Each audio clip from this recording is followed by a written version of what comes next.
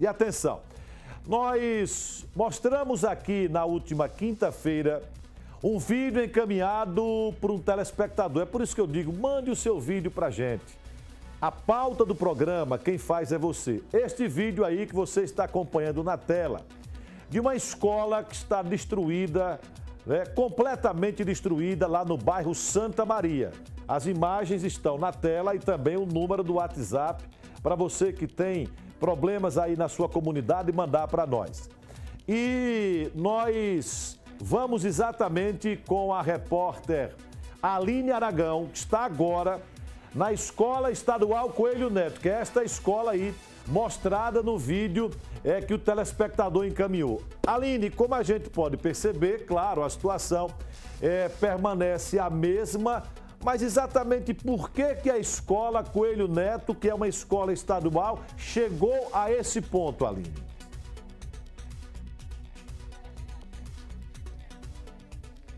Isso mesmo, Fábio Henrique. É lamentável a gente mostrar uma escola nessa situação, porque o que sobrou aqui são é apenas as ruínas, né? são as ruínas da escola é, Coelho Neto, como você falou. A informação que eu tive aqui dos moradores é que essa escola foi fechada para reforma há quase um ano. Só que a gente sabe como funciona, né, Fábio Henrique? As escolas aqui em nosso estado fecham para reforma e aí acaba ficando lá, as crianças são removidas, levadas para um prédio alugado e a escola ficou abandonada. Com o abandono, tá desse estado, ó, foi o vandalismo que fez isso aqui. Primeiro levaram o telhado, depois começaram aí a demolir, a derrubar as paredes. A gente está aqui, ó, com a população revoltada. Vamos tentar ouvir aqui uma senhora, que o filho da senhora estudava aqui, é isso? Bom dia. Estudar aqui, e foi uma briga para conseguir uma vaga aqui nesse colégio, né? E hoje a gente vê nessa situação, né? E a gente sofre, né, por várias crianças estar tá nesse, é, sem poder estudar, né? E onde estão as crianças que estudavam aqui? Foram levadas para onde? As crianças que estudaram aqui, levaram para alguns colégios do Augusto Franco, não foi? Se eu não me engano. Santa Teresa, não foi?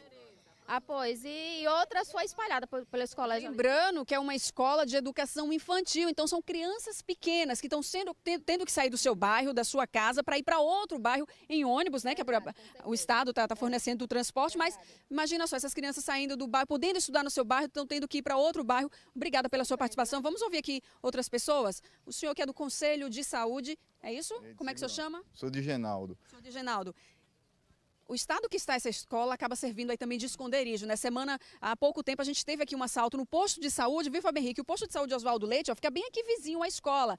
E o prédio desse jeito que está aqui, meu amigo, acaba servindo aí de esconderijo para os marginais. É isso mesmo? Bom dia. É, é, bom dia. Essa escola tem um ano que era para fazer uma pequena reforma. Vocês estão vendo a situação, é? Aí pegaram os alunos, levaram para uma, um, uma casa alugada no Santa Teresa e hoje está aqui a mãe reclamando aqui de noite, ninguém pode passar porque é, é, é usado de droga, é para tudo aqui. Então nós estamos pedindo que o governo e a Secretaria de Educação faça a escola de volta, porque as mães estão tá aqui revoltadas, indignadas, porque seis horas sai com uma criancinha para cá para ir, para ir levar para outro colégio está sendo assaltada. Então nós estamos querendo que o governo tome uma atitude. Obrigada pela sua participação. Eu vou chamar o Beca. Vamos tentar entrar aqui na escola, Beca? Tem que ter um pouco de cuidado, gente, porque tem destroços, né? Ruína para todo lado aqui. Tem que ter olhar aqui para a gente acabar não tomando uma queda. Mas olha só que situação lamentável. Vamos tentar entrar aqui nessa sala de aula, Beca? Olha só o que sobrou. Gente, isso era uma sala de aula para criança. Olha só, o quadro ainda está ali na parede, mas olha a situação. Ato de vandalismo. Olha, vai eu caindo aqui. Pisei no buraco. Essa é a situação da escola. Ó, poças de água aí, servindo de moradia para o mosquito da dengue. Deve ter mosquito aqui por essa região muito, né? Bom dia. Muito bom dia, Aline. Bom dia, Balanço Geral. É, infelizmente é assim, a, o Santa Maria derrubaram um, um, posto de saúde e não reformaram, faz isso com o colégio e deixa para lá. Muitas crianças que tem na nossa comunidade e precisa de escola, a gente não pode deixar que isso continue.